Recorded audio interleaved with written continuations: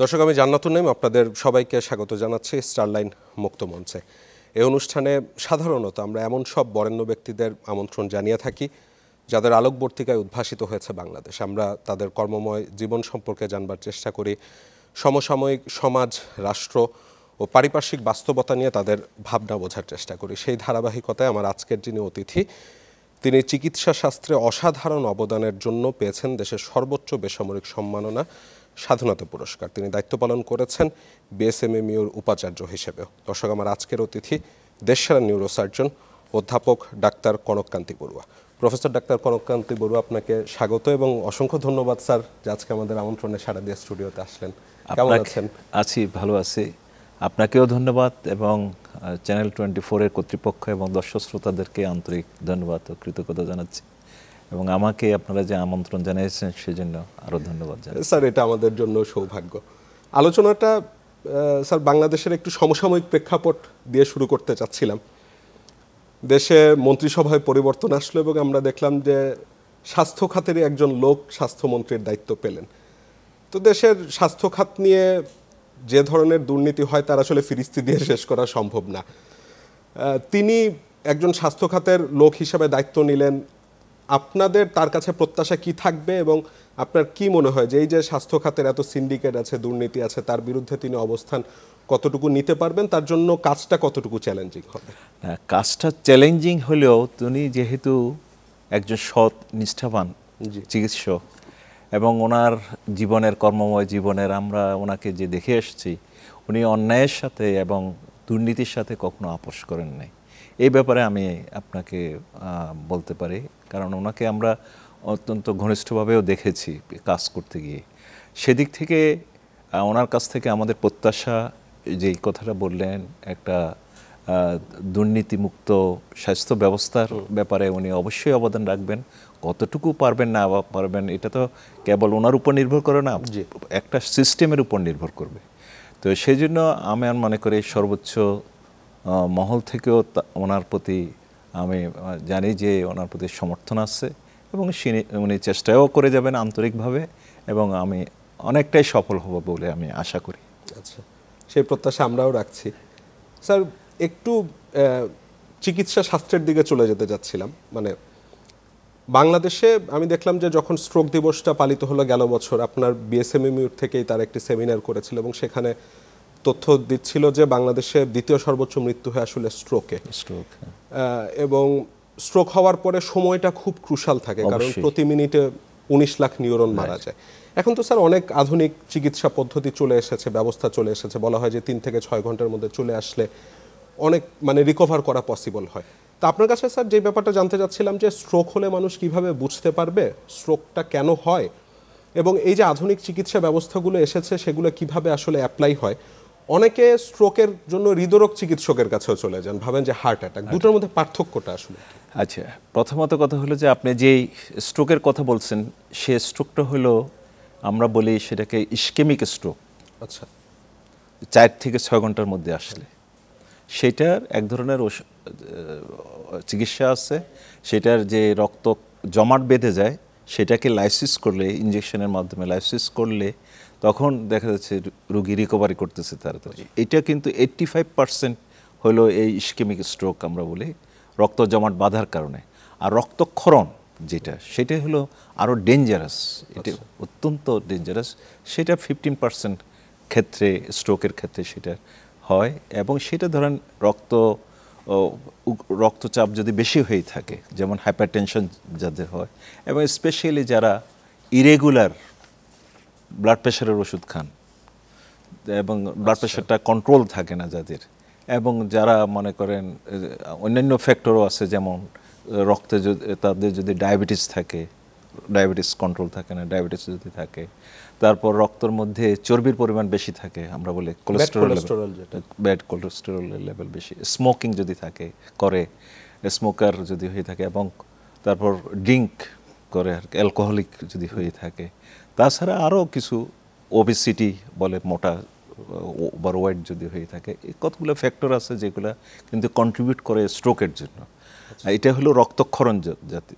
আবার এটা blood pressure ছাড়াও রক্তের নালীর মধ্যে কিছু সমস্যা থেকে থাকে যেমন হলো আমরা বলি অ্যানিউরিজম একটা বেলুনের মতো হয়ে যায় রক্তনালীর মধ্যে সেটা ফেটে গেলে রক্তক্ষরণ হয় এটা আরও সিরিয়াস জিনিস। এবং আরেকটা হলো রক্তনালীর এভিএম বলি আমরা আর্টারিভানাস মেলফরমেশন তো এইগুলো হলো রক্তক্ষরণের কারণে, আর আপনার প্রথমে যেটা দিয়ে শুরু করেছিলেন সেটা হলো স্ট্রোক ইস্কেমিক স্ট্রোক মানে রক্ত চলাচল রক্ত জমাট বেঁধে যাওয়ার কারণে রক্ত চলাচল প্রপারলি না হওয়ার কারণে যে জায়গায় রক্ত জমাট বেঁধে যায় সেইখান থেকে সেটার আশেপাশে পেরিফেরিতে মানে সেটার আশেপাশে যে রক্ত সাপ্লাই করা, সরবরাহ করে, সেখানে কিন্তু ব্রেন নিউরনগুলো ড্যামেজ হয়ে যায়। সেটা হলো ইস্কেমিক স্ট্রোক। দুই ধরনের স্ট্রোক আছে আর কি। তো এটার হ্যাঁ সিমটমটার কথা বলছেন সিমটমটা প্রথমত কথা হলো যদি রক্তক্ষরণ হয় তাহলে হঠাৎ করে তার তীব্র মাথা ব্যথা হবে। মাথা ব্যথা বমি এবং অজ্ঞান হয়ে যাবে এবং খিচুনি কনভালশনও হতে পারে। এটা হলো এবং এক সাইড তার প্যারালাইসিস হয়ে যাবে। আর যেটা ইস্কেমিক স্ট্রোক এটা হলো রক্তক্ষরণ জাতীয় কারণে। আর যদি ইস্কেমিক স্ট্রোক যেটা বলি রক্ত জমাট বাঁধার কারণে সেটাতে মাথা ব্যথাটা হবে না তেমন। আচ্ছা।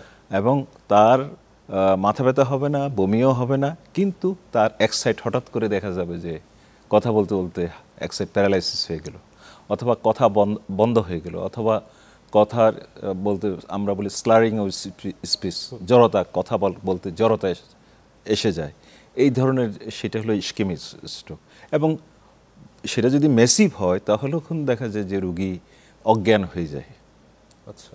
তো এখন এটা আর রক্ত যে কথাটা বললেন হার্টের অসুখ আর হলো মতো। স্ট্রোকের কীভাবে ডিফারেন্সিয়েট করবেন? হার্টের অসুখ হলে তো সাধারণত বুকে ব্যথা হয়। এবং বুকে ব্যথা হয়ে সেই ব্যথাটা আমাদের এদিকে চলে যায় নেকের দিকে চলে যায় অথবা বাম হাতের দিকে চলে যায়। কিন্তু ওইরকমভাবে হাত পা প্যারালাইসিস হবে না অথবা মাথা ব্যথাও সাধারণত হয় না কথা বলছেন তো সুতরাং যখন স্ট্রোক হবে স্ট্রোকের আমি যে উপসর্গের কথা বললাম সেগুলার যদি মিলে যায় তাহলে সাথে সাথে যে সকল জায়গায় নিউরোসার্জারি বা নিউরোলজির চিকিৎসা আছে সেই সব জায়গায় নিয়ে যাওয়া উচিত। আর না তা না হলে হৃদরোগ ইনস্টিটিউটে নিয়ে গিয়ে আবার তাকে সিটি স্ক্যান করে আবার অন্য জায়গায় নিয়ে গেলে এতে সময় কালক্ষেপণ হয়। যার ফলে ইম্পর্টেন্ট টাইমটা আমরা বলি গোল্ডেন টাইম যেটা সেটার ইস্কেমিক স্ট্রোকের ক্ষেত্রে চার ঘণ্টার মধ্যে না আসলে আপনার সে চিকিৎসাই হবে না। আলটিমেটলি যথাযথ যে উপকার পাওয়ার কথা চিকিৎসায় সেই রেজাল্টটা আমরা পাবো না। স্যার ধরেন যদি এমন হয় কোনো একটা প্রত্যন্ত অঞ্চলের একজন মানুষ সাপোজ পঞ্চগড়ের একজন মানুষ স্ট্রোক করল। সে আসলে কি করবে? তার তো ঢাকায় যদি আসতে হয় বারো চোদ্দ ঘণ্টা লেগে যাবে। না ঢাকায় আসার প্রয়োজন কি? আচ্ছা। তার তো প্রথমত পঞ্চগড়ের লোক সে তো দিনাজপুরে যেতে পারে। দিনাজপুরে নিউরোলজিস্ট আছে নিউরোসার্জন আছে সিটি স্ক্যান মেশিন আছে এবং এমআরআই মেশিন আছে। বর্তমান আমাদের যে স্বাস্থ্য ব্যবস্থা স্বাস্থ্য ব্যবস্থা কিন্তু ডায়াগনস্টিক ক্ষেত্রে এবং আমাদের বিভিন্ন ফেসিলিটিসে অনেক উন্নতি হয়েছে এবং আমাদের নিউরোসার্জিক্যাল সার্ভিসও বিভিন্ন জায়গায় এবং নিউরোলজির সার্ভিসও বিভিন্ন জায়গায় কিন্তু প্রসারিত হয়েছে। এবং আমাদের বিভিন্ন পোস্ট ক্রিয়েশন থেকে শুরু করে গত পনেরো বছরে অনেক পোস্ট ক্রিয়েশনও হয়েছে এবং অনেক সুযোগ সুবিধাও অনেক বেড়েছে। তো সেই জন্য স্ট্রোকের এই চিকিৎসার জন্য কেউ যদি পঞ্চগড়ের কথা যে বললেন সে যদি দিনাজপুরে আসে ডেফিনেটলি সেই উইল গেট দ্য প্রপার উপযুক্ত চিকিৎসা পাবেন। এবং তাছাড়া রংপুরে তো আরও একটা বড় একটা সেন্টার হয়ে গেছে এখন। ওইখানে একজন কিন্তু রংপুর আমার পাঁচজন নিউরোসার্জন আছে। তার মধ্যে প্রফেসর আছে অ্যাসোসিয়েট প্রফেসর আছে দুইজন অ্যাসিস্ট্যান্ট প্রফেসর আছে তিনজন। শুধু রংপুরে তো আরও বড় সেন্টার আছে। আর ফেসিলিটিসের ব্যাপারে মনে করেন CT scan MRI CT angiogram এগুলা সব কিন্তু অ্যাভেলেবেল আছে। মানে সবচেয়ে কাছে আমার যেটা অ্যাভেলেবল সেখানে আমার ইয়েস সেটাই জবাব স্যার এবার একটু আপনার ব্যক্তিগত জীবনে চলে আসতে যাচ্ছিলাম। আপনার তো বাড়ি চট্টগ্রামে। জি। তো সেখানে বেড়ে ওঠাটা কেমন ছিল? আমি দেখছিলাম যে আপনার বেশ কিছু স্কুল পরিবর্তন হয়েছে। চট্টগ্রাম থেকে শুরু করে লক্ষ্মীপুরে গিয়েছেন কুমিল্লা জেলা স্কুল থেকে ম্যাট্রিক করলেন এরপর আবার ঢাকায় কলেজ থেকে ইন্টার করলেন। ওই সময়টা স্যার জার্নিটা জানতে চাচ্ছিলাম। প্রথমত কথা হলে আমরা গ্রামের আমার ক্লাস ওয়ান থেকে মনে করেন ক্লাস ফাইভ সিক্স পর্যন্ত আমার গ্রামের স্কুলটাতে আমরা পড়াশোনা করি আচ্ছা। আমি পড়াশোনা করি। কেমন ছিল স্যার ওই স্কুল? ওই স্কুল আমাদের প্রাইমারি স্কুলটা ছিল স্কুলের আমাদের যে হেডমাস্টার ছিলেন স্পেশালি ওনার কথা বলতে হয় এই জন্যই যে উনি আমাদেরকে এত স্নেহ করতেন আমাকে। কারণ হলো আমার বড় ভাই দিলীপ দা এবং আমার মেজ ভাই দীপক দা ওনারা দুইজনেই খুব ভালো রেজাল্ট করতেন। আচ্ছা। সেই সুবাদে আমি তৃতীয় ভাই হওয়াতে আমার প্রথম দিকে কিন্তু কোনো প্লেস ছিল না। আমার যদিও আমি পড়াশোনা রেগুলার ছিলাম কিন্তু আমার প্লেস ছিল না। কিন্তু ওই ওনাদের কারণে আমার দিকে শিক্ষকরা বাড়তি নজর দিত। বাড়তি নজর দেওয়ার ফলে স্বাভাবিকভাবে আমি ওই ট্র্যাকে ফোর থেকে ফাইভে উঠতে গিয়ে আমি ক্লাস থার্ড হইলাম। ফাইভ থেকে সিক্স উঠতে গিয়ে আমি সেকেন্ড হইলাম আবার সিক্স থেকে সেভেনে উঠতে গিয়ে ফার্স্ট হইলাম। এরকমভাবে আর কি। সেভেন থেকে সেভেনে গিয়ে আমরা ভর্তি হলাম বলে সরকারহাট স্কুলে সরকারহাট নজর আলী হাই স্কুল সেটা নিজামপুর কলেজের পাশে সেইখানে। তখন তখনকার হেডমাস্টার ছিলেন মীর হোসেন স্যার উনিও কিন্তু ওই আমাদের আমার দুই ভাইয়ের জন্য সেখানে বাড়তি নজর। বাড়তি নজর। তো স্বাভাবিকভাবে সেভেন থেকে এইটি উঠতে গিয়ে আমি ফার্স্ট হই। সেখান থেকে আমি চলে গেলাম হলো বাবার প্রথম চিকিৎসকে যে নাইনটিন সিক্সটি ফোরে লক্ষ্মীপুরে জি লক্ষ্মীপুরে একটা হেলথ কমপ্লেক্স হয় থানা হেলথ কমপ্লেক্স সেটার প্রথম চিকিৎসক কিন্তু আমার বাবা ছিলেন। আচ্ছা। তো স্বাভাবিকভাবে বাবার কাছে আমি চলে যাই। গিয়ে সেখানে যে Lakshmipur model school model high school সেই মডেল হাই স্কুলটাতে কিন্তু আমি এইট থেকে নাইনে উঠে উঠতে গিয়ে আমি ফার্স্ট হলাম। এবং একমাত্র আমি কিন্তু সেখান থেকে নোয়াখালী জেলা স্কুলে গিয়ে আমরা এই বৃত্তি পরীক্ষা দিই। এবং আমি একমাত্র বৃত্তি পেয়েছিলাম ওই স্কুল থেকে। ইদানিংকালে শুনি যে ওই মডেল হাই স্কুলটা সামাত একাডেমির সাথে এক হয়ে গেছে একীভূত মার্চ হয়ে গেছে এখন। তারপর আমি সেখান থেকে বাবা যখন নাইনটিন সিক্সটি সেভেনে যখন ট্রান্সফার হইলেন ময়মনসিংহ। মেডিকেল কলেজে হসপিটালে তখন আমি কুমিল্লা জেলা স্কুল দিলীপ দা এই যে বড় ভাই আমার বড় ভাই দিলীপ দা উনি আমাকে উনি তো তখন চৌমুহনী কলেজে হ্যাঁ উনি চৌমুহনী কলেজে এটা আপনি তো জানেন স্যার, দাদার সম্পর্কে। তো উনি আমাকে বাবার সাথে কথা বলে আমার তো বোর্ড চেঞ্জ করতে হয় ক্লাস টেনে তো বোর্ড চেঞ্জ করা তো ঝামেলার ব্যাপার। তার চেয়েও যদি আমি কুমিল্লাতে কোনো স্কুলে মানে কুমিল্লা বোর্ডের আন্ডারে কোনো স্কুলে যদি ভর্তি হই তাহলে সুবিধা হয়। তো তার চেয়ে যেহেতু কুমিল্লা জেলা স্কুল একটা নাম করা স্কুল ভালো স্কুল সেই জন্য এবং এখানে হোস্টেলেরও ফেসিলিটিস আছে তো সেই জন্য আমার দিলীপ দাই আমাকে নিয়ে গিয়ে ওইখানে ইন্টারভিউ মানে দিলেন। তখনকার হেডমাস্টার ছিলেন নূর মোহাম্মদ স্যার উনি আমার পরীক্ষা নিলেন।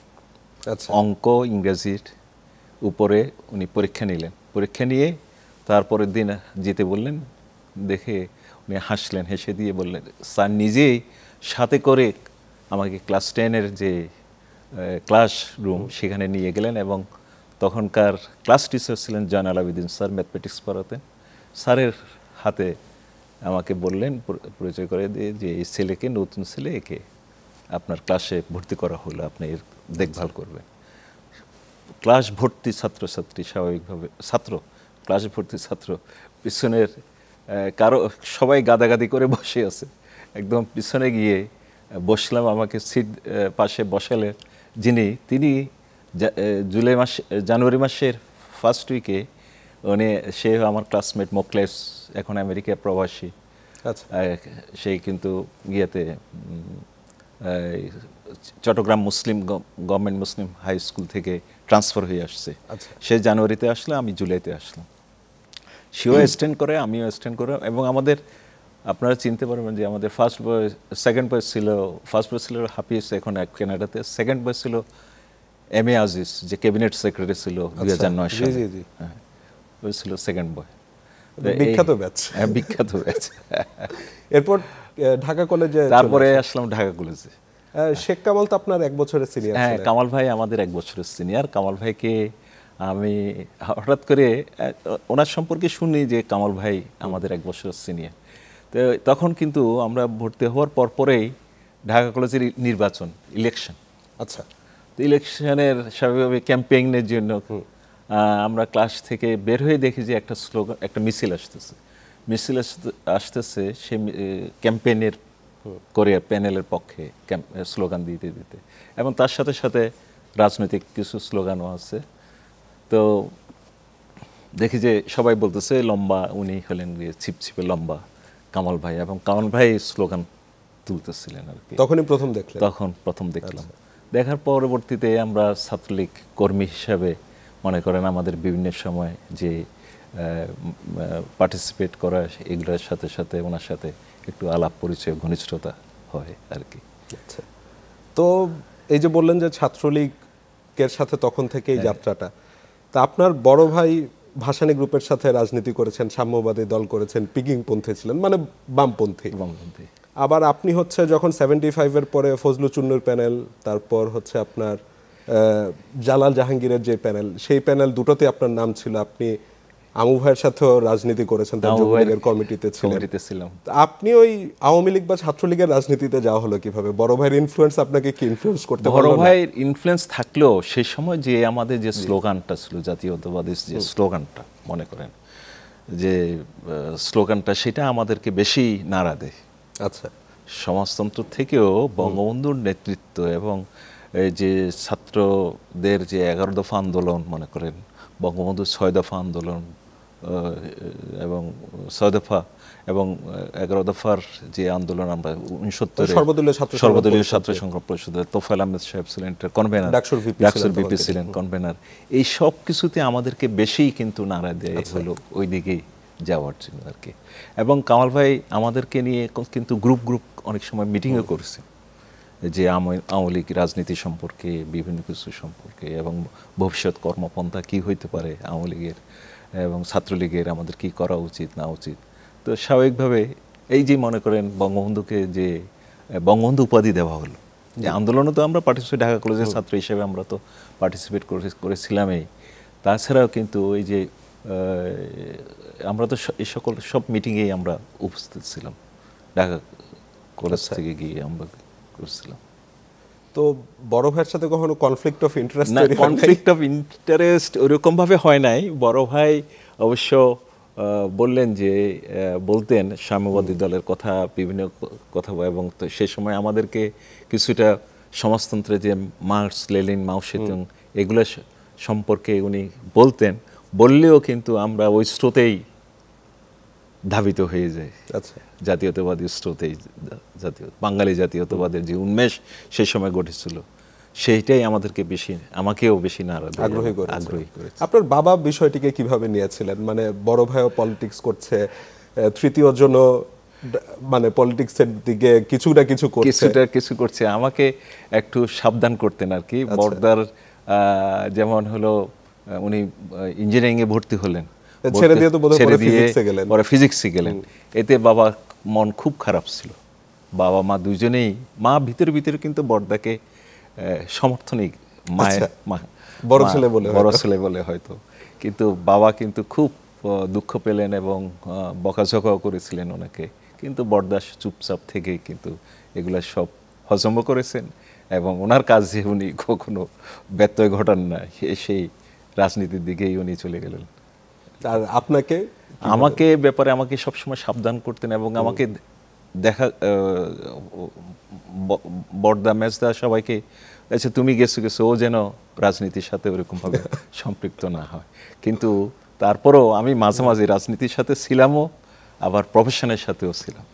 এবং একটা পর্যায়ে এসে আমি বেশি প্রফেশনের দিকে চলে গেছে।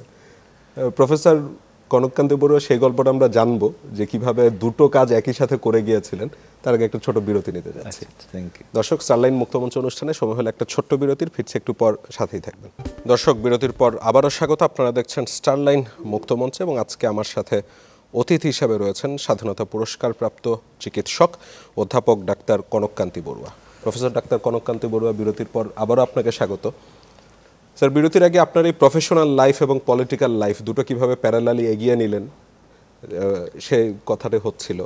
তো শুরুর দিকেই চলে যেতে যাচ্ছিলাম যে জানতে পারলাম আপনার ইকোনমিক্সও পড়ার ইচ্ছা ছিল কিন্তু যে ভর্তি হলেন ঢাকা মেডিকেলে ওই ডাক্তার হবার ইচ্ছাটা কেন হলো এবং সেই সাথে জানতে পারলাম যে মানে ভর্তি হবার আগেই নাকি আপনার সিটও ঠিক হয়ে গিয়েছিল হলের মধ্যে? সেই গল্পটা একটু শুনতে যাচ্ছিল এটা হলো প্রথমত কথা হলো যে স্বাভাবিকভাবে বাবার পরিবারের মধ্যে যে আলাপ আলোচনা হতো বাবার প্রফেশনটা কে নেবে? চিকিৎসক প্রফেশন আমার যে ডাক্তার হওয়ার যে ইচ্ছা ছিল না তা নয়। দেখেন উনিশশো সাতষট্টি সালে খ্রিস্টান বার্নার্ড আফ্রিকাতে আপনার হার্ট করলেন। ট্রান্সপ্ল্যান্ট করলেন। সেই নিউজটা যখন আমি দেখলাম দেখার পরে কিন্তু আমার ইনিশিয়ালি ইচ্ছে ছিল যে আমি একজন কার্ডিয়াক সার্জন হব। আচ্ছা। কিন্তু পরবর্তীতে এসে আমার হসপিটালে এসে যখন বিভিন্ন কিছু ইন্টার্নশিপ করার সময় বিভিন্ন করার সময় দেখলাম ব্রেনের অসুখ ব্রেনের জটিলতা ব্রেনের যে এবং একটা রুগী যদি প্রপারলি টাইমলি যদি সার্জারি করা হয় তাহলে সেই রুগী যে জীবন বেঁচে যায়। আবার টাইমলি যদি সার্জারি না করা যায় তাহলে কিন্তু তার মৃত্যু অবধারিত।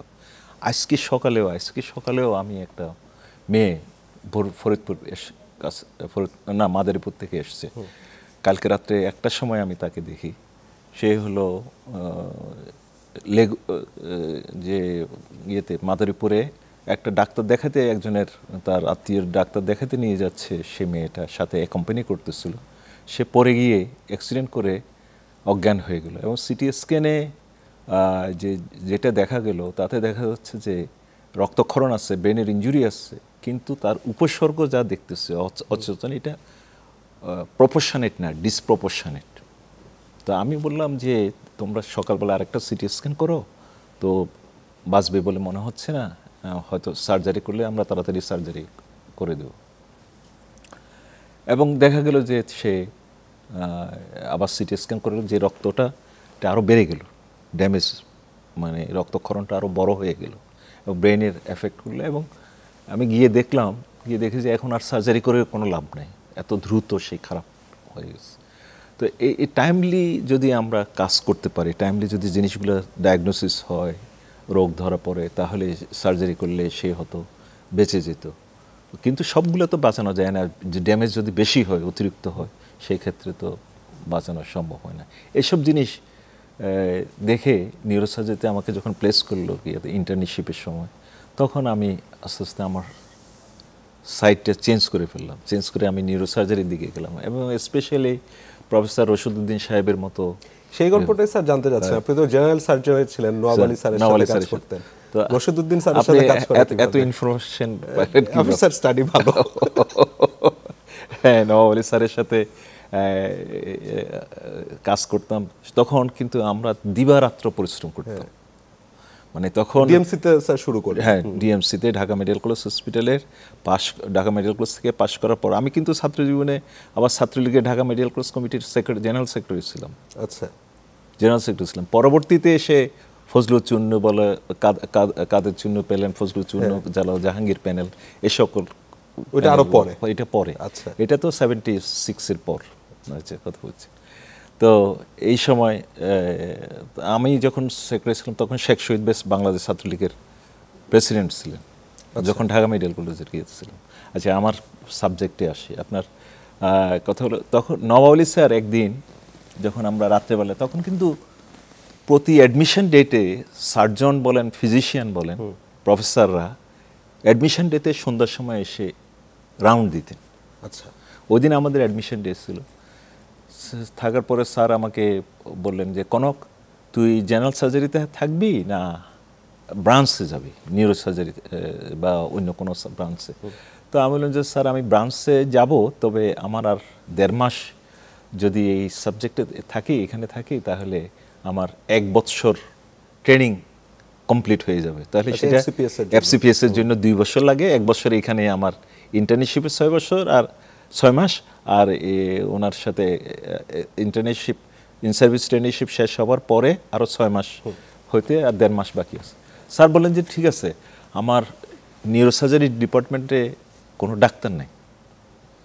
তখন কি স্যার নিউরোসার্জন একেবারেই ছিল না ওই সময়টাতে? পাঁচ- পাঁচজন ছিলেন। সারা বাংলাদেশে? সারা বাংলাদেশে এই যে professor Rashiduddin sir Ahsanullah sir আতাইলহি sir চারজন।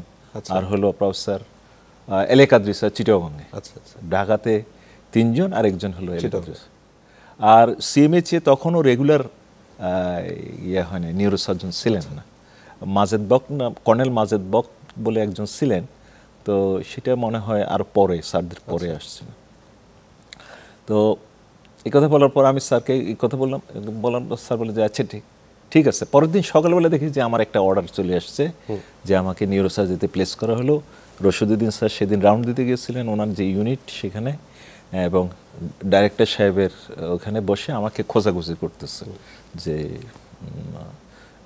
আমাকে পরিচয় করে দিবেন আর কি স্যারের সাথে। তো স্যার আমার যাইতে দেরি দেখে আমি কাজে ব্যস্ত ছিলাম মানে একটা রুগী নিয়ে ব্যস্ত ছিলাম তখন স্যার আবার চলে গেলেন। আমি গিয়ে ডাইরেক্টর সাহেব, স্যারের সাথে দেখা করলাম ব্রিগেডিয়ার হেদায়তুল্লাহ সাহেব। তো উনি তখন বললেন যে কনক তোমাকে আমরা তো প্লেস করলাম এখানে। রশিদ সাহেব এখানে বসা ছিলেন একটু আগে চলে গেছেন। তুমি ওই- এখন থেকে ওইখানে কাজ করো। তো আমি বললাম স্যার আমার তো আর দেড়টা মাস হলে আমার জেনারেল সার্জারি ট্রেনিংটা কমপ্লিট ছয় মাস হয়ে যেত। তো তোমাকে আমরা সার্টিফিকেট দেবো। এটা তো সার্জারিরই একটা ব্রাঞ্চ দেড় মাসে না। তো এটা ব্রাঞ্চ আর তোমাকে দেখো নিউরোসার্জারিতে থাকলে তোমাকে আমি ডাইরেক্টর সাহেবকে বলে আমি এখানে পোস্ট পোস্টিংও করাই দেব। এবং ওনারা করাই দিলেন তাই।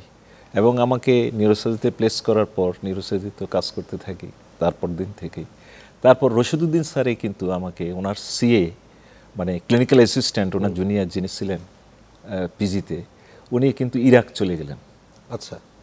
তখন ইরাক ইরান যাওয়ার একটা ফ্লো ছিল কিন্তু চাকরি নিয়ে। আচ্ছা চিঠি দিলে ওরা তো হেলথ মিনিস্ট্রি থেকে চিঠির যাদের যাদের অ্যাপয়েন্টমেন্ট থাকতো তারা চলে যেত। আবার কেউ কেউ এখানে থেকে ইরানের ভিসা নিয়েও সরাসরি চলে যেত। তো সেখানে গিয়ে চাকরি নিত। তো যাই হোক আমি তখন স্যার দেখলেন যে চলে গেলেন চলে গেলেন স্যার এই ইউনিট সাফার করবে কোনো ডাক্তার নাই একমাত্র রশিদুদ্দিন স্যার আর ওই যিনি ইরাকে চলে গেলেন। ইরাকে চলে গেলেন ডক্টর জওহরলাল সেন। উনি চলে গেলেন। তো উনি এয়ারপোর্টে গিয়ে স্যারকে একটা চিঠি দিলেন। স্যার তো হতাশায় পড়ে গেলেন যে আমার রুগী কে দেখবে?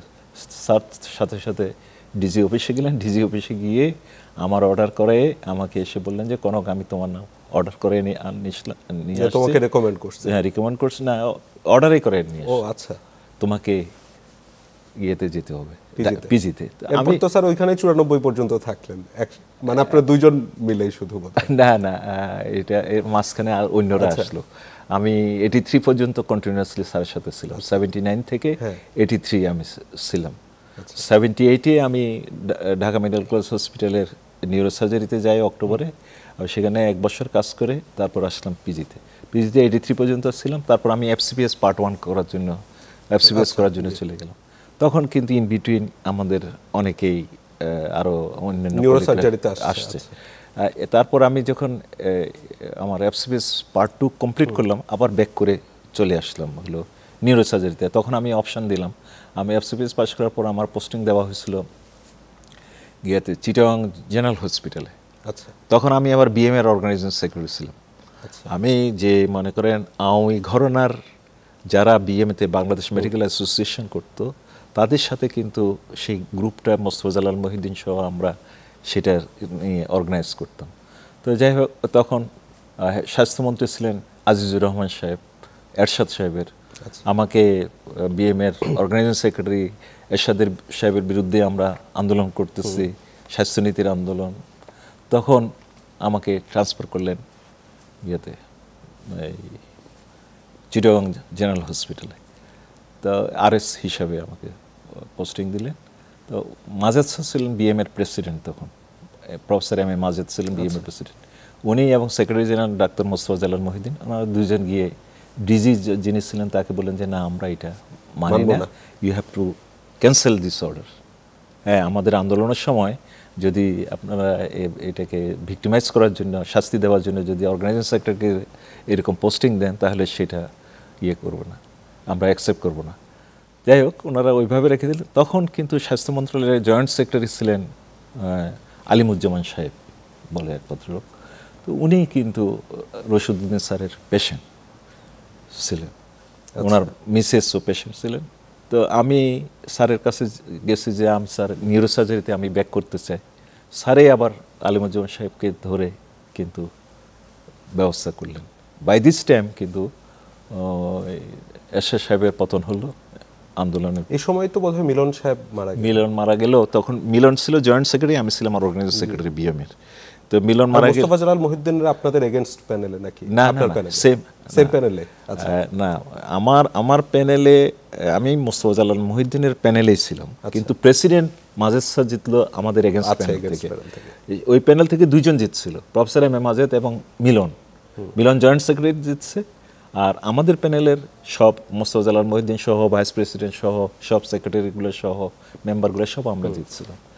তো যাই হোক কিন্তু আন্দোলনের সময় তো আমরা সব এক।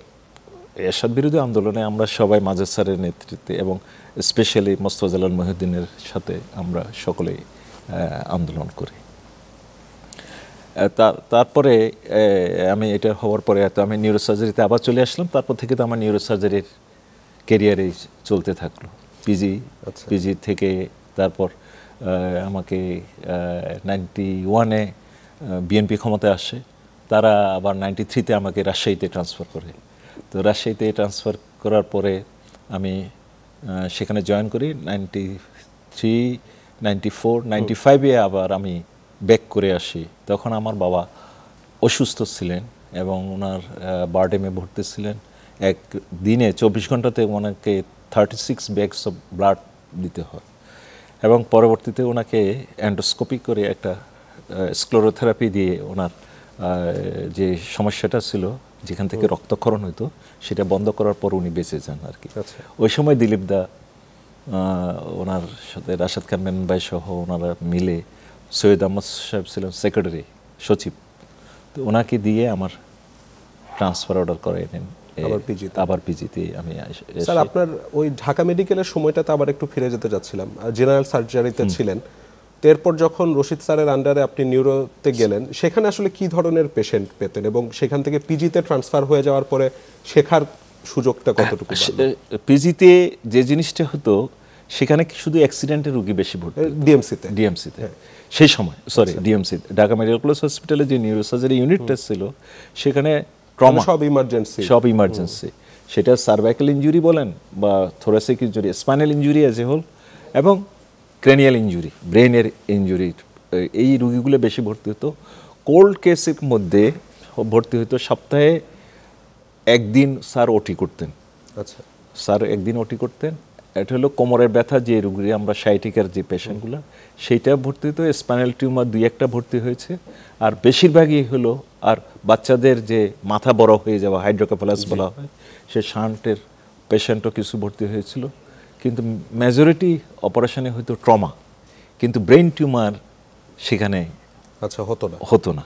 তো স্বাভাবিকভাবে আমার একটা যদি আমি নিউরোসার্জনে হই নিউরোসার্জারি কেরিয়ার করি ব্রেন টিউমার তো হলো গিয়ে মেন আর ছাড়া আরও অন্য অসুখ আছে সেগুলোর সার্জিক্যাল ট্রিটমেন্টটা তো আমার শিখতে হবে। এবং সেই সময় সিটি স্ক্যান ছিল না এমআরআই ছিল না।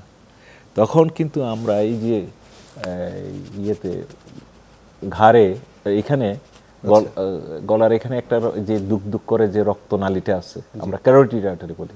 ডাইরেক্টলি ওইটাকে পাংচার করে ওইটা দিয়ে আপনার ওষুধ দিয়ে ডাই দিয়ে আমরা ব্রেনের সার্কুলেশনটা ম্যাপিং করা হতো, দেখা হতো এক্স রে করা হতো শুট শুট করে আর কি। তো তো যাই হোক সেইটা দেখে সার্কুলেশনটা দেখে এটাতে টিউমার আসছে কি টিউমার নাই, এটা আমরা বুঝতে পারতাম। এবং এই সার্কুলেশনটা দেখে অনেক সময় ক্রনিক সাবডুরাল হ্যামাটোমা বলা হয়, এই ধরনের কিছু থাকলেও সেটা সেই সময় ডিটেকশন হতো। সেভাবে ডিটেকশন করে আমরা অপারেশন করতাম। এবং স্যারের গাইডেন্স অবশ্যই স্যারের গাইডেন্সেই এগুলো স্যারেই করতেন। আমি ওই ডায়াগনোসিসগুলো কিন্তু পরীক্ষাগুলো কিন্তু আমাকেই করতে হতো। স্যার বলতেন এটা এটা করেন এটা করেন এটা করো এটা করো সেইটা করতো স্যার সহ আমরা অপারেশন করতাম। তারপরে ধরেন এভাবে চলতে থাকল এবং সিটি স্ক্যান কিন্তু আমাদের দেশে আসে হলো এইটি সিক্সে প্রথম পারডেমে আচ্ছা। বারডেমে প্রথমে এইটি সিক্স। তারপর নাইনটির পর তো বিভিন্ন প্রাইভেট হসপিটালগুলা ডায়াগনস্টিক সেন্টারগুলা ওরা সিটি স্ক্যান আনলো তারপরে এমআরআই আনলো। এখন তো সরকারি বেসরকারি সব জায়গায় সব জায়গাতে সিটি স্ক্যান এমআরআই এবং আমাদের এটা কিন্তু আমাদের ইকোনমিক গ্রোথের সাথে সাথে জড়িত। দেখেন আমি যখন নাইনটিন নাইনটি সিক্সে নিউরোসার্জারি ট্রেনিংয়ের জন্য ইয়েতে গেলাম জাপানে গেলাম। আচ্ছা। তখন আমাকে একটা ওদের রোটারি ক্লাবের রোটারি ক্লাব অফ ওসাকা আমাকে ইনভাইট করল বাংলাদেশের নিউরোসার্জিক্যাল স্ট্যাটাস সম্পর্কে নিউরোসার্জারি স্ট্যাটাস সম্পর্কে লেকচার দেওয়ার জন্য। তো স্বাভাবিকভাবে লেকচার দিতে গিয়ে আমার পার ক্যাপিটাল ইনকাম কি কি না এগুলো তো বলতে হয়। দেশের ইকোনমি দেশের ইকোনমিটা কারণ এটা তো এক্সপেন্সিভ নিউরোসার্জারির চিকিৎসাটা কিন্তু খুবই এক্সপেন্সিভ ডায়াগনস্টিক এবং কিউরেটিভ যেটাই করতে যায় না কেন এটা যন্ত্রপাতি এটা সেটা বিভিন্ন কিছু বিভিন্ন টেকনিক্যাল হ্যান্ডসের জন্য এটা খুবই প্রয়োজন যেগুলা। তো সেগুলো আমরা ধীরে ধীরে অনেক দূর এগিয়ে আসছি। তো তখন ছিল থ্রি হান্ড্রেড ইউএস ডলার আমি আমাদের এই যে পরিসংখ্যান বই আছে মানে পার income। ক্যাপিটা ইনকাম ছিল থ্রি হান্ড্রেড ইউএস ডলার আজকে প্রায় থ্রি থাউজেন্ড ইউএস ডলারের কাছাকাছি। স্বাভাবিকভাবেই জীবনমান উন্নয়নের সাথে সাথে মনে করেন আমাদের এই সকল ফেসিলিটিসগুলা কিন্তু বেড়ে গেছে অনেক বেড়ে গেছে। তো যে কথাটা বলতেছিলাম যে আমি আমার এখনও মনে আছে যে তৎকালীন মন্ত্রীর কাছে গিয়ে আমাদের স্যার রশিদুদ্দিন স্যার একটা সিটি স্ক্যান মেশিন এটি ওয়ানে কেনার জন্য ও, ধর্ণা দিলেন। ধর্ণা দেওয়ার বলে যে প্রফেসর রশিদ যেখানে ডায়রিয়ায় কলেরায় আমাদের রুগীরা মারা যাচ্ছে সেখানে কয়টা রুগীর চিকিৎসা আপনি দিবেন? এই সিটি স্ক্যান করে। এসব কমেন্ট কিন্তু শুনতো হয়েছে। যেখানে সরকারের থেকেই কিন্তু এটা আনানো আনানো উচিত ছিল আর কি সেটা উল্টা কিন্তু এখন এই যে দেখেন এই যে আমাদের বর্তমান স্বাস্থ্যমন্ত্রী এই যে জহল মানে সামন্তলাল সেন উনি যে বললেন ওনার ইন্টারভিউতে যে আমি যখন বার্ন অ্যান্ড প্লাস্টিক সার্জারি ইউনিটের ইয়েতে গেছি আমার ফাইল এসেছিলেন আমার অনুষ্ঠানে বলছিলেন বলছিলেন ফাইল ছুড়ে দিয়েছে। তো সেরকম আর কি। অনেকটা। যাই হোক এটাই আর কি। স্যার আপনি যে বলছেন ওই যে পার ক্যাপিটা ইনকাম এখন হ্যাঁ, দশ গুণ বেড়ে গিয়েছে মানে মানুষের আয় বেড়েছে সন্দেহ নেই। আবার এটাও তো স্যার সত্য যে এখনও পর্যন্ত আউট অফ পকেট এক্সপেন্ডিচারের দিক দিয়ে বাংলাদেশই আসলে হায়েস্ট সেটা স্যার কমানো যাচ্ছে না কেন? এটা তো প্রথমত কথা হলো যে এটা তো এটা ইকোনমিস্ট যারা তারা ভালো বলতে পারবে। হ্যাঁ আমরা মানে তো বাংলাদেশে কি আসলে চিকিৎসা ব্যবস্থা অনেক ব্যয়বহুল? ব্যয়বহুল এটা যে মানুষ ইন্ডিয়ায় চলে যায় ইভেন থাইল্যান্ডেও তো স্যার যায়। না ইন্ডিয়ার ব্যয় কম এটা কে বলল? যে আমি একটা পেশেন্টের অপারেশন করলাম রক্তনালীর ব্রেনের। তো সেটা স্যার ছিলেন তখন। রশিদুদ্দিন স্যার ছিলেন এস প্রফেসর এমিরিটাস হিসেবে ছিলেন ডিপার্টমেন্টে তো আমাদের এক নিউরোলজির প্রফেসরের বোন সে দিল্লিতে গেছে দিল্লিতে গিয়ে এভিএম তার না ক্যাভার্নাস অ্যানজিউমা বলল তো এক সাইডে প্যারালাইসিস মেয়েটার ইয়াং মেয়ে তারা বলল যে বারো লক্ষ ইন্ডিয়ান রুপি খরচ হবে। আচ্ছা। এবং বারো লক্ষ ইন্ডিয়ান রুপিতে কত টাকা হয়? সে সময়। মনে করেন এখন থেকে দশ বছর আগেকার কথা বলতেছি। দশ বছর আগে কথা বলছি তো তারপরে এবং বেঁচে বাঁচবে কিনা সেটার কোনো গ্যারান্টি নেই। আচ্ছা। তার হাজব্যান্ড তখন চিন্তা করল যে এটা অপারেশন এখানে যদি মারাও যায় এত টাকা খরচও হয় তাহলে এখানে কেন অপারেশন করব? যদি মারা যায় দেশে মারা যাক। একটি মা বাবা সবাই দেখুক তার হ্যাঁ চিকিৎসার সময় সে সবাইকে দেখে সে দুনিয়া থেকে চলে যায়। আউট অফ দ্যাট কিন্তু সে নিয়ে, উনি নিয়ে আসছেন। নিয়ে আসার পর ওই মেডিসিনের নিউরো মেডিসিনের প্রফেসর যিনি শাখাওয়াত সলিবুলের প্রফেসর ছিলেন, উনিও রিটায়ার করছেন। সে এসে আমার সাথে যোগাযোগ করে যোগাযোগ করে বলল যে এরকম রিক। আমি, তুমি যদি চাও আমি সার্জারি করতে পারি। এবং তৎকালীন পিজি হসপিটালে না তখন তো পিজি না বঙ্গবন্ধু মেডিকেল বিশ্ববিদ্যালয় হয়ে হয়ে গেছে হাসপাতালে কিন্তু নিউরো সার্জারিতে আমি অপারেশন করি অপারেশন করার পর যখন সেলাই কেটে যখন চলে যাবে তখন দেখা যাচ্ছে যে সে আস্তে আস্তে হাত পা নাড়া শুরু করল ফিজিওথেরাপি দেওয়ার পর উন্নতি হলো উন্নতি হয়ে পরে দুই সপ্তাহ পরে আমার কাছে আসলো হেঁটে স্যার ডাক্তার হিসেবে এসব নিশ্চয়ই অসাধারণ অভিজ্ঞতা অবশ্যই অবশ্যই অসাধারণ অভিজ্ঞতা এবং এইসব এ, দেখে আমাদের মনে হয় যেন আমাদের যে পরিশ্রম সার্থক হয়েছে। সার্থক হলো। এবং আমার বাবা মাও যে চিন্তা করলে করতেন যে আমি একজন চিকিৎসক হব বা কিন্তু আমার মা কিন্তু চান না আমি নিউরোসার্জন হই। কেন? আমি অ্যাসিস্ট্যান্ট প্রফেসর অফ নিউরোসার্জারি হয়ে পিএসসিতে যখন মাকে জানাতে গেলাম বাবা মাকে সালাম করতে গেলাম মা বাবা খুব খুশি হলেন হাসলেন হাসতেছেন। মা বললেন যে তোকে মানে থাপ্পড় দিয়ে আমি তোর দাঁত ফেলে দেব। তোকে কে বলছে নিউরোসার্জন হইতে? তুই তো ইয়েতে কয়টা লোককে মিরেশ্বরে থানার কত কয়টা লোকের ব্রেন টিউমার হবে তুই তুই সাহায্য করতে পারবে? আমার মা মা ওনার দৃষ্টিভঙ্গি দিয়ে বলতো যে কয়টা লোকের ব্রেন টিউমার হবে তুমি চিকিৎসা করব। আর তুমি যদি জেনারেল ফিজিশিয়ান হইতা বা জেনারেল সার্জনও হইতা তাহলে অনেক লোক তোমার কাছে আসতো। হেল্পের জন্য চিকিৎসার জন্য। তুমি না করে গেছো এমন একটা কঠিন সাবজেক্ট হ্যাঁ। কিন্তু মাকে যখন এরপর মা আমাকে বললেন তোমাকে চিটাং যেতে হবে। চিটাং গিয়ে প্রতি মাসে একবার হলেও চিটাঙ্গে রুগী দেখতে হবে। আমি কিন্তু মার কথা রেখেছিলাম প্রতি মাসে পনেরো দিন পর পর চিটাং যেতাম। চিটাং গিয়ে যখন একবার মাকে বললাম আজকে আমার গ্রাম থেকেই চারটা পেশেন্ট আসলো স্ট্রোকের যে সিটি স্ক্যান করে। মা খুব খুশি হয়ে গেলেন। যে ছেলে সেবা করতে পারে হ্যাঁ ছেলে গ্রামের মানুষের ওনার শ্বশুর বাড়ির এলাকার মা আমার মার বাড়ি বাপের বাড়ি কিন্তু নোয়াখালী। কিন্তু আমার আমাদের নানা তো জমিদার ছিলেন। হ্যাঁ নানা জমিদার ছিলেন। আপনি তো সব কিছু জানেন তো নানা জমিদার ছিলেন। তা জমিদারের মেয়ে কিন্তু উনি যে মিরেশ্বরের বাসীর প্রতি আমার মায়ের যে আবেগ আচ্ছা। ওনার শ্বশুরবাড়ির থানার লোকজনের প্রতি আমি সেদিন বুঝতে পারলাম। আমি তারপর মার কথা অক্ষর করে পালন করে আমি সেখানে যেতাম। কিন্তু করোনা কোভিড হওয়ার পর ওইটা যে বন্ধ করছে আর চালু করে নাই রিসেন্টলি মনে করতেছি যে আবারও আমি এলাকায়।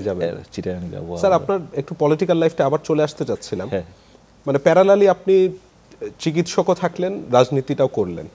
এবং সেভেন্টি ফাইভের পরে তো খুব একটা ক্রাইসিস আসলো। সম্ভবত আহ, সেরনিয়াবাদ সাহেবের পরিবার শেখ ফজল হক মনির লাশ ডিএমসিতে এসেছিল। এবং সেভেন্টি এইটে যখন প্রথম জোহরা তাজউদ্দিনের নেতৃত্বে বত্রিশ নম্বর পর্যন্ত একটা গিয়েছিল সেখানে আপনি এবং মোস্তফা জালাল মহিউদ্দিন আপনারা দুজন গিয়েছিলেন। এবং আমি একমাত্র সরকারি চিকিৎসক। সরকারি চিকিৎসক। মোস্তফা জালাল মহিউদ্দিন ছিলেন কিন্তু সে সরকারি। যেহেতু তাকে হেনস্থা পলিটিক্যালি হেনস্থা করতে পারবে করবে সেই জন্য সে চাকরিতে ঢুকে নেয়। ইন সার্ভিস ট্রেনিশিপ করে সে কিন্তু ইয়েতে আর চাকরিতে ঢুকে নেয়। কিন্তু আমি একমাত্র সরকারি চিকিৎসক। সেই সময় কোনো সরকারি অফিসার তো দূরের কথা। প্রশ্নই আসে না। আওয়ামী লীগ তো দূরের কথা বঙ্গবন্ধুর নামই তো নিতে নিত না ভয়। তো গেলেন যে সেটা নিশ্চয়ই সরকারি লোকজন দেখেছে পরে কোনো সমস্যা হয়নি? না আমার আমাকে কোনো সমস্যা করে নাই। আচ্ছা। এনি হাও আমাকে ইভেন সেই সময় সাপ্তাহিক একটা বাংলার ডাক পত্রিকা বের হতো। সেই পত্রিকাতে কিন্তু লন্ডন থেকে সেই পত্রিকাতে কিন্তু আমাদের নাম দুজনের নাম। চিকিৎসকদের পক্ষ থেকে পুষ্পমাল্য অর্পণ করেন ডাক্তার মোস্তফা জালাল মহিউদ্দিন ও ডাক্তার কনকান্তি বড়ুয়া। এই কথা বলে বাংলার ডাক থেকে আসলে, এবং সেটা বিএমএতে তারা, লন্ডন থেকে বিএমএতে বাংলাদেশ মেডিকেল অ্যাসোসিয়েশনের অফিসে সেই কপি, অনেকগুলো কপি কিন্তু তারা পাঠিয়ে দেয় লন্ডন থেকে। তো যাই হোক এটা আমি কিন্তু রাজনীতির ক্ষেত্রে আমার মন, প্রাণ, যেটা হলো, যেটা বিশ্বাস করি মনে করেন, এই যে কামাল ভাইয়ের যে ঘটনাটা ঘটলো মনে করেন এক সময় শেখ কামাল। কামাল ভাইয়ের। তো তখন কিন্তু মোস্তফা জালাল মহিদ্দিন আমি আমরা কিন্তু ওনার পাশে ইয়েতে হসপিটালে যখন ওনাকে নিয়ে আসলো। এবং শেখ শহীদুল ইসলাম সাহেব যে এখন জাতীয় পার্টির। সেক্রেটারি ওনার অপারেশন হবে। সার্জনরা সবাই একে একে হাজির এসে হাজির একে একে। কিন্তু ওটিতে বসে আছেন বলছে রক্ত। তখন শেখ সাহেব ভাই আমাকে বললেন যে কনক তোর নাকি বি গ্রুপের রক্ত তুই কি রক্ত দিতে পারবি? তো আমি তো সাথে সাথে রাজি হয়ে গেছে। রাজি হয়ে দিলাম রক্ত দিলাম আর ওনার অপারেশন হলো উনি ভালো। এবং বঙ্গমাতা ডেলি এসে কামাল ভাইয়ের কেবিনে আমাকে খবর দিতেন। তো যাই হোক, স্যার কত সালের ঘটনা বলছেন? এটা সেভেন্টি থ্রির পনেরোই ডিসেম্বর রাত্রে ঘটনাটা ঘটছিল। বঙ্গমাতা ডেলি এসে খুঁজতেন যে কনক নামের ছেলেটা কোথায়, ওকে একটু নিয়ে আসো। তো আমাকে খবর দিচ্ছে কিন্তু আমি ছাত্রলীগের জেনারেল সেক্রেটারি। আমি কিন্তু নবীন বরণ সম্বর্ধনা দেওয়ার জন্য আমি দৌড়াদৌড়িতে ব্যস্ত। আমি মনে করছি যে আমি তো পরে দেখা করলেও হবে, কিন্তু আমার অনুষ্ঠানটা তো ঠিক করতে হবে। এবং ছাত্রলীগের তরফ থেকে নবীন বরণ সম্বর্ধনা দিয়েই আমি দেখা করতে গেছি। দেখা করার পর উনি আমাকে যে কথা বললেন উনি অনেক বড় মাপের মানুষ বঙ্গমাতা স্বাভাবিকভাবে। আমি ক্ষুদ্র একজন তখন মেডিকেল স্টুডেন্ট বাবা, এতদিনে তোমার সময় হলো এই মায়ের সাথে দেখা করতে। তোমাকে আমি ডেলি খবর দিই। কনক আসলো না এখনও কনক আসলো না? যাই হোক আরও কিছু কথা বললেন, সেগুলো আমি নাইবা বললাম। কামাল ভাই, কনক শব্দ শুনে কামাল ভাই শুয়েছিলেন। লাভ দিয়ে উঠে, এই কনক তুই এতদিনে আসলি আম্মা ডেলি এসে তোর কথা তোকে খোঁজে আর তুই এতদিনে দেখা করতে আসলি এই সেই কথা বললেন আর কি। তো যাই হোক তা আমরা সকালবেলা ঘুম থেকে উঠে এসে এরকম প্রস্তুতির জন্য প্রস্তুতি নিব। কিন্তু সেই সময়ে- তার আগেই সবাই চেঁচামেচি করতেছে যে এরকম ব্যাপার কু হয়ে গেছে কু হয়ে গেছে। আমরা তো বিশ্বাসই করতে পারতেছিলাম না।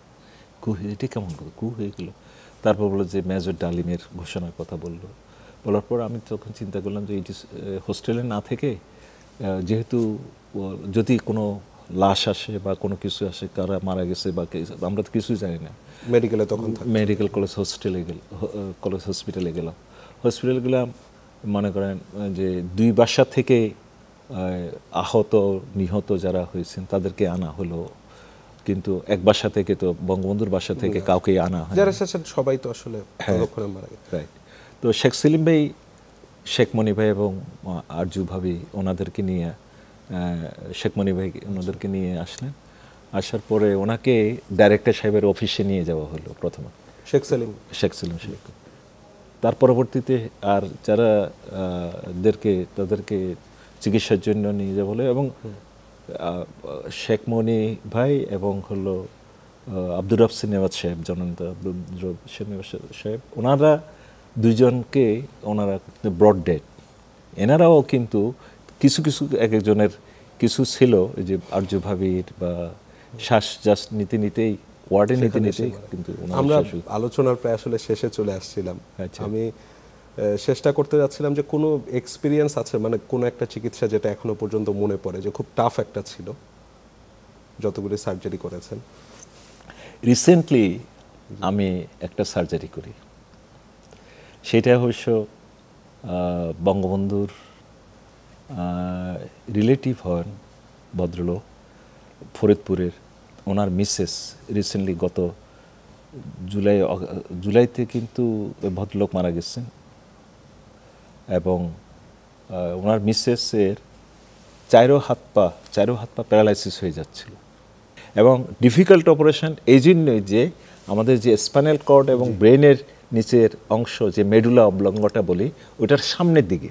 কিন্তু আমরা অ্যাপ্রোচ করতেছি হলো পিছন দিক দিয়ে। তাতে হয় কি ওই ওনার পার্মানেন্টলি কিন্তু হাত পা প্যারালাইসিস হয়ে যাওয়ার সম্ভাবনা ছিল। কতক্ষণ লাগল সার্জারিটা সেটা প্রায় চার ঘণ্টার মতো। ধীরে ধীরে ধীরে ধীরে ধীরে ধীরে এবং উনি এখন হাঁটেন চলাফেরা করেন আমাদের জন্য দোয়া করেন এবং নিজের টয়লেটে যাওয়া তো দূরে সব কিছু সব কাজে উনি করতে পারছেন। নিজে করতে পারছে এটাই হলো রিসেন্ট যেটা মোস্ট চ্যালেঞ্জিং একটা surgery professor doctor Kanakkanti Barua আপনার সাথে কথা বলতে খুব ভালো লাগছিল আরও অনেক কিছু আসলে জানার ইচ্ছা ছিল তবে আজকে অনুমতি দিলে অনুষ্ঠানটা এখানেই শেষ করতে যাচ্ছিলাম। ধন্যবাদ আপনাকে অসংখ্য ধন্যবাদ। আপনাদেরকে অসংখ্য অসংখ্য ধন্যবাদ।